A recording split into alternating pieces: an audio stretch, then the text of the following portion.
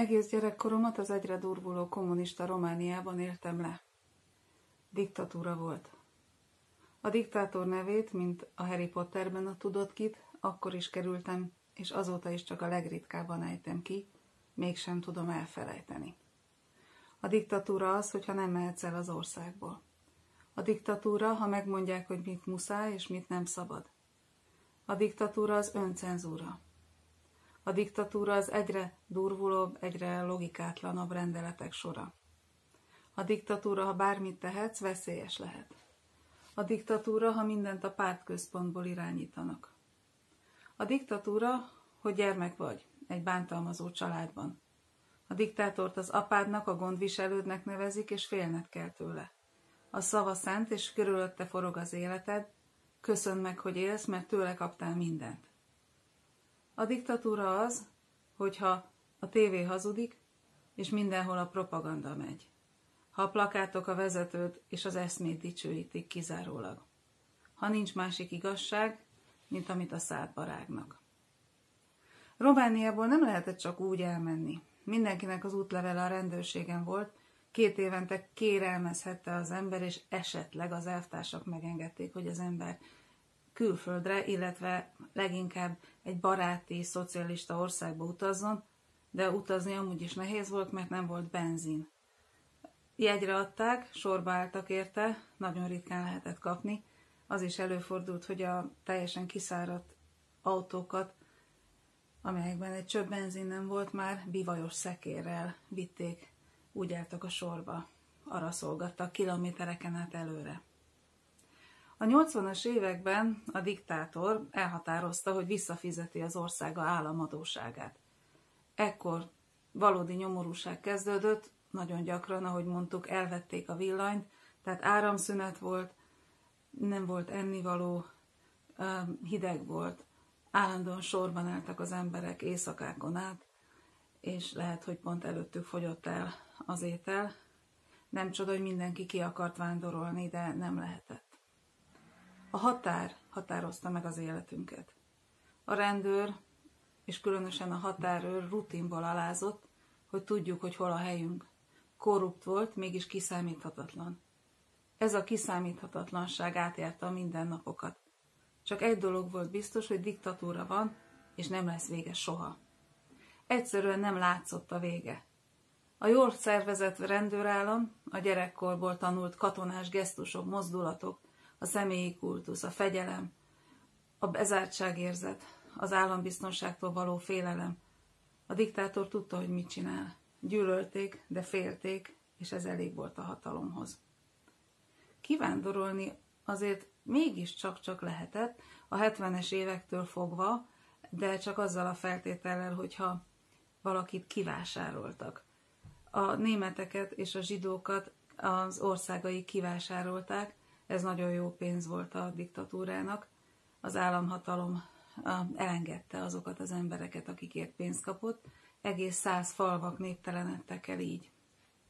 A magyar kisebbséget nem vásárolták ki, de ha véletlenül útlevelet kaptak, akkor turistaként megjelentek Magyarországon, és menedékjogot kértek. Akinek ez sem sikerült, az megpróbált átmenekülni a zöld határon, életveszélyes volt nyilván, sokan meghaltak így, de az emberek egyre kétségbe esettebben próbáltak átjutni, otthagyni, maguk mögött hagyni a nyomorúságot és a hatalomnak a túlkapásait, és ráadásul a kisebbségek helyzete is egyre nehezebb lett. Magyarországon um, is lehetett már akkor tudni, hogy um, iskolákat szüntetnek meg Romániában, hogy um, a magyar nyelv nem kívánatos, hogy elkezdődött a falurombolási program, ami a monolit magyar falvakat, a nemzetiségi magyar falvakat szerette volna eltüntetni a föld színéről. Az emberek egyre elégedetlenebbek voltak, és egyre dühösebbek, mégsem tűnt úgy, hogy ennek valaha vége lesz, hiszen minden lázadásra irányuló kísérletet letörtek.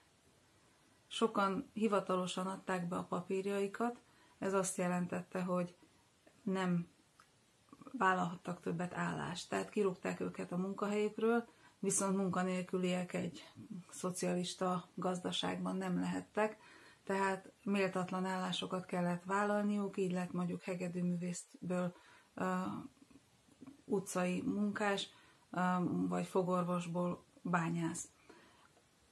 Családok éltek így évekig, mindenüket eladták, hogy valahogy élelmiszerhez jussanak. Virágzott nyilván a fekete gazdaság, de akinek mondjuk jó lakása volt, az hamarabb el tudott menekülni, hamarabb elengedte az állam, mert az is törvény volt, hogy nem lehetett a lakásokat eladni. Tehát az ember nem kaphatta meg az élete munkájának az ellenértékét, hanem az állam tulajdonképpen potonpénzért, bagóért felvásárolta ezeket a lakásokat, tehát akinek jó lakása volt, az hamar elment. Akinek nem volt elég fedezete, az túszként tartották fogva sokáig. Nagyon sokszor családok váltak szét, valaki már külföldre menekült, és onnan várta a családegyesítést. Keserves idők voltak a 80-as évek elejétől, közepétől, a 80-as évek vége pedig egyenesen kibírhatatlan volt. Én 87. decemberében kerültem Magyarországra hivatalos úton, családdal. Mi is elég sokat vártunk az útlevélre, de nem mi voltunk az egyetlenek, csak 1988-89-ben több mint 35 ezer magyar hagyta el Erdélyt. És azóta is zajlik a kivándorlás, a románok és a magyarok is szerte rajzottak a világban. Az én osztálytársaim közül már csak néhányan élnek a szülővárosomban, Kolozsváron.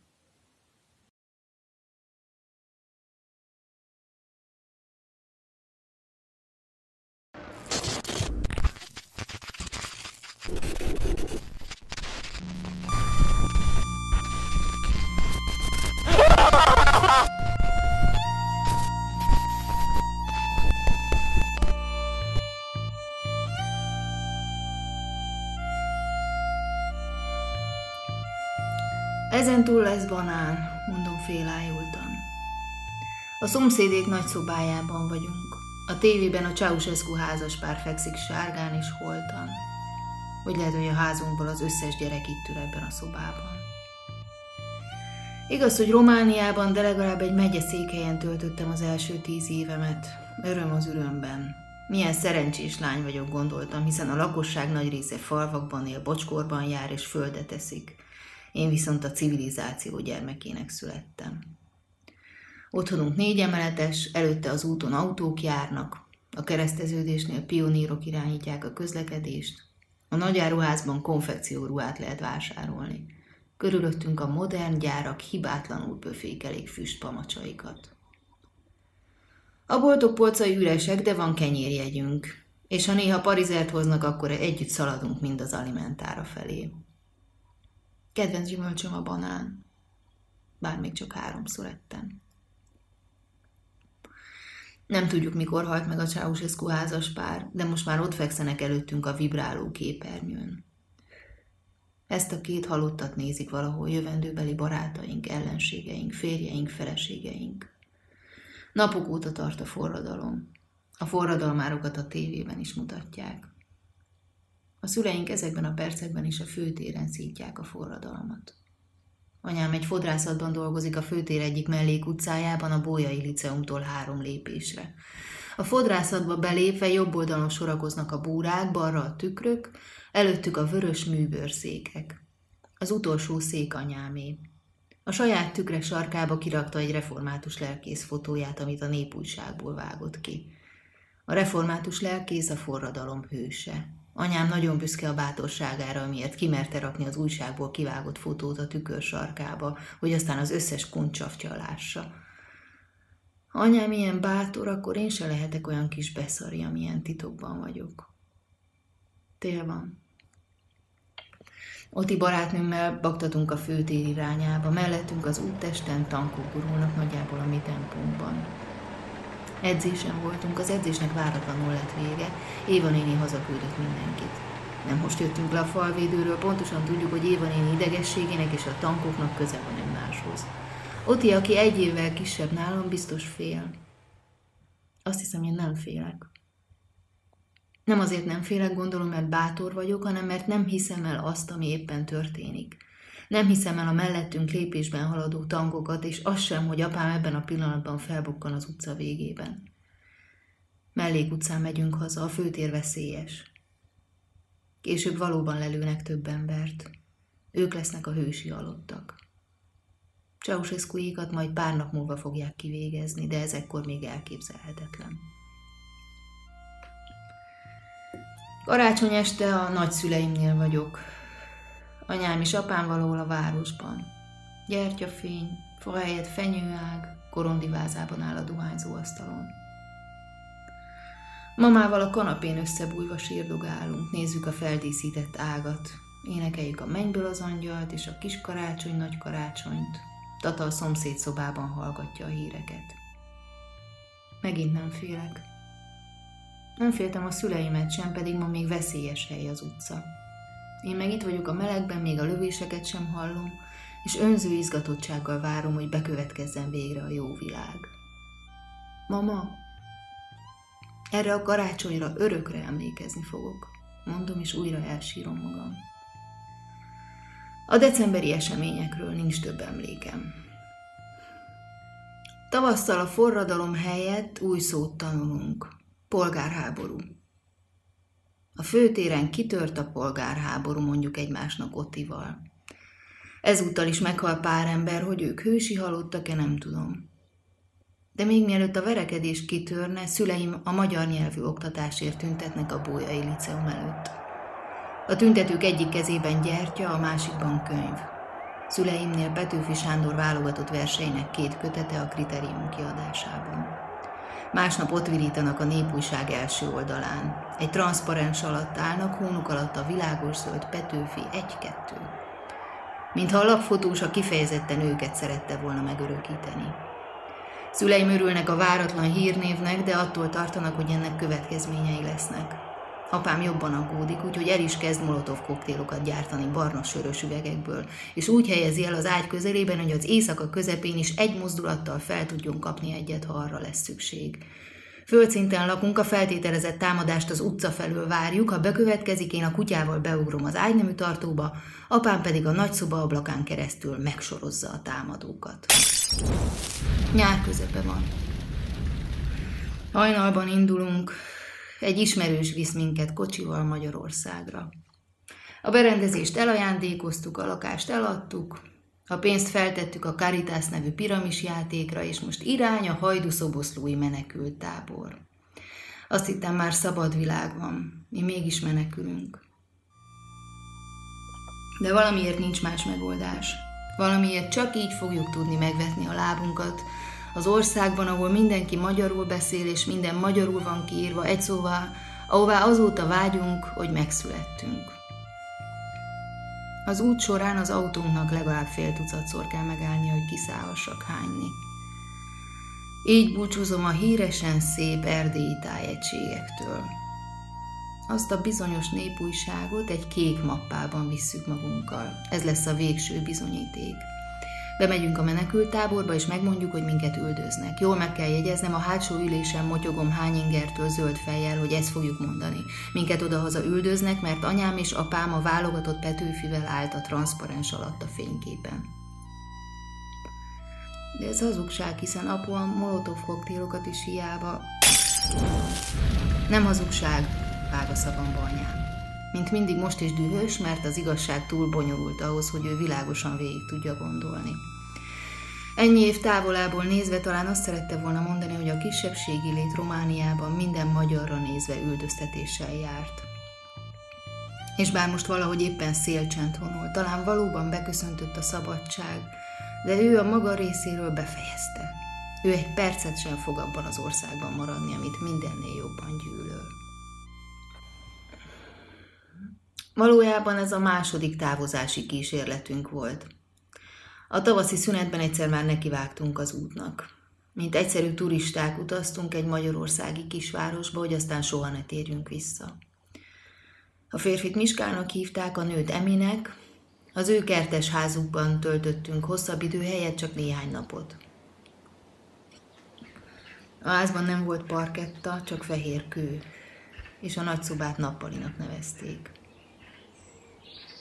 Új ételekkel ismerkedem. Ketchup, gulyás, krém, túrós pogácsa. A kertben a nyugádjá alakítható kempingszékben heverészek, és a virágos húzatba bújtatott szivacsot simogatom. A dolgok itt színesebbek és puhábbak. Miska és Emmi a magyarországi barátaink. Amikor legutóbb meglátogattak minket, azt ígérték, segítenek nekünk letelepedni, de mire megérkeztük, meggondolták magukat. Mégsem adnak nekünk befogadó nyilatkozatot. Attól félnek, hogy ha bejelentkezünk a lakcímükre, akkor többé nem fognak tudni kirakni minket. Természetesen nem hiszik, hogy nem mennénk el önszántunkból, de azért mégsem tudhatják előre, hogy el fogunk-e menni önszántunkból. Anyám utólag azt meséli, ekkor kezdte először sejteni, hogy a magyarországi emberek önzők. Az erdélyi minden körülmények között segít. Apámnak is megvan a véleménye a magyarországi emberekről. Szerintem nem önzők, csak sóherek. Az ételből kispórolják a húst, a munkából az időt és az odafigyelést.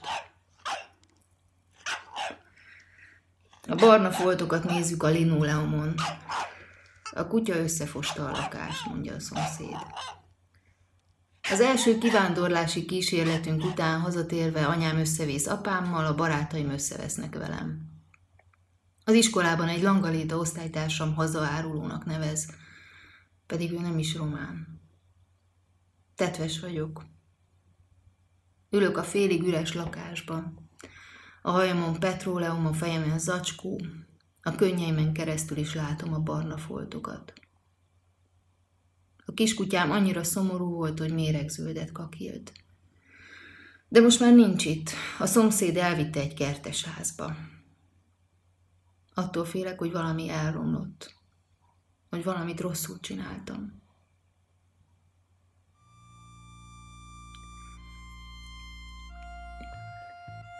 Évekkel később a Békás megyeri egy és két fél szobás albérletünk nappaliában tévéműsort nézünk a rendszerváltásról. Nem tudja eldönteni, mondja hőmögve apám, hogy mi a rendszerváltás úgynevezett vesztesei vagy nyertesei vagyunk. Számolgat. Elvesztettük a szülővárosunkat, a lakásunkat, a tárgyainkat, a barátainkat, a szüleinket. És mit nyertünk? Anyám elvörösödik.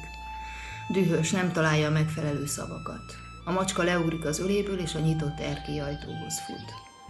Mancsa a szúnyoghálóra csap, mire odakint a francia erkély korlátja mellől két kövér galamb röppen föl. Tavasz van. Hívogató süt a nap. Hamarosan érettségizem. Tele vagyok tervekkel.